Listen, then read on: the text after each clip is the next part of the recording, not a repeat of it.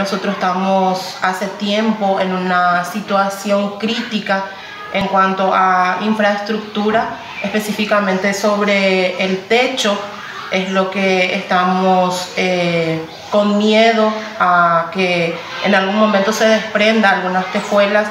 Incluso en la semana recurría a algunos padres de familia y eh, tratando de solucionar eh, nos quedamos con una situación peor.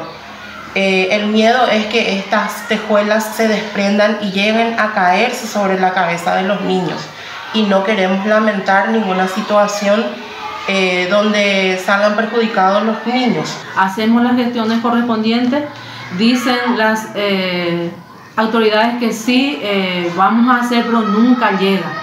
Por ejemplo, la intendenta me había dicho, sí, estamos haciendo las gestiones, estamos nomás ya esperando el ok del ministerio, me dice.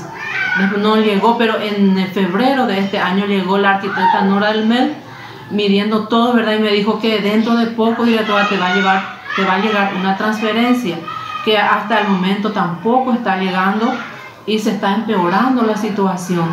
Y eh, hace dos meses también nos llamaron a los directores que se va a transferir para el efecto, ¿verdad?, el dinero, preparándonos cómo vamos a utilizar ese aporte y tampoco hasta el momento está llegando.